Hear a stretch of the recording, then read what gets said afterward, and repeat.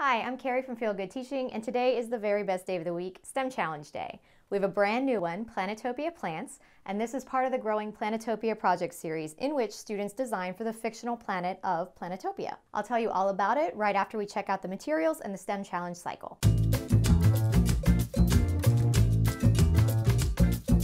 This is the STEM Challenge cycle you should follow for every challenge. I've defined each step in another video.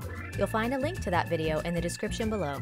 In this challenge, students are going to be designing a plant that no one has ever seen before, either in reality or even in stories or myths. Students do become very attached to their designs for this challenge, so it is best to let every student design his or her own, but there are still some options if you want them to work collaboratively either in partners or groups. If working in partners, students can design different stages of the plant's life cycle or one student can take on the dominant traits of the plant, whereas the other can design for recessive traits. And if you want students to work in groups, you could have them first determine different climates or biomes of Planetopia, and then have each student in the group design something perfectly suited for each climate.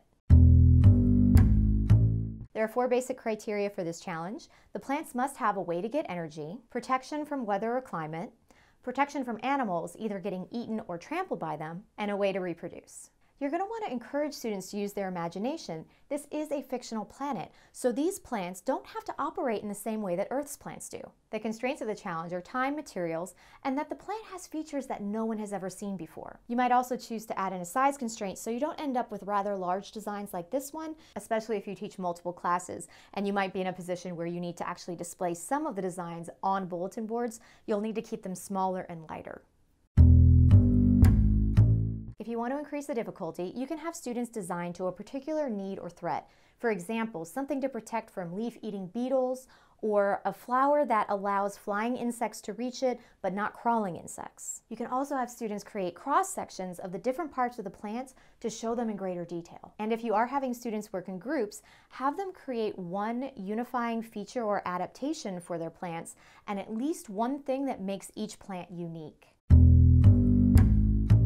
To measure results, you can either have students simply say yes or no that each criterion was met, or you can ask them to provide a little bit of additional detail. And don't worry if student explanations are rather outlandish or unrealistic or very different from earth plants, because these designs are going to serve as a foundation for making connections with plant science on earth and comparing and contrasting. As always, I have plenty of extension ideas for this challenge. You can have students create booklets or file folders about their Planetopia plants.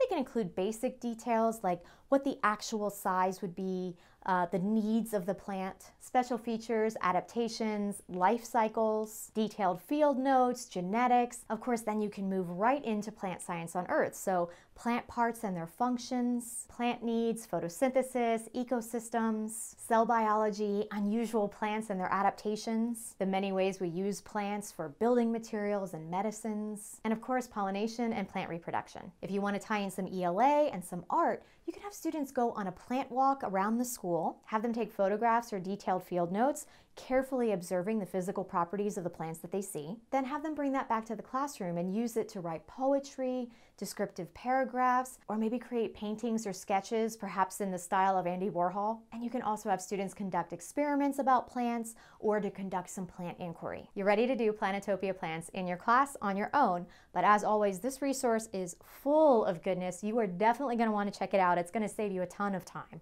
This resource contains everything you need to guide your students through the Planetopia A plants Challenge, including modifications for use with 2nd through 8th graders. You'll still need to gather materials, of course, but the rest has been done for you you. You'll get aligned Next Gen Science standards, links to my STEM Challenge how-to videos to help you get the most from each challenge, and the Planetopia Plants materials list. In teacher tips, you'll find premise and setup, how to increase or decrease difficulty through the criteria and constraints list, measuring results, and cross-curricular extension suggestions. You'll find an editable criteria and constraints list so you can tailor the challenge to your students. For student handouts, there are two versions, 4-page expanded room for response for younger students, and a 2-page condensed space paper saver version. You'll also find a set of group discussion questions. In the extension handouts, you'll find templates to make plant booklets or folders focusing on plant basics, features and adaptations, life cycles, and genetics and heredity. You'll find handouts for studying plant parts and functions, cells, photosynthesis, plant inquiry, and more, including math extension and process flow templates.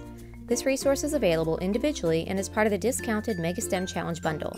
Coming in late spring 2018, it will also be part of a new discounted Planetopia bundle. Digital paperless versions for use with Google Slides are coming soon. Links can be found in the description below the video. I've included additional details and video content about this resource on my blog. I have that linked below. Make sure you're following and subscribed. As always, I hope your week has been packed with feel good teaching moments. See you next time.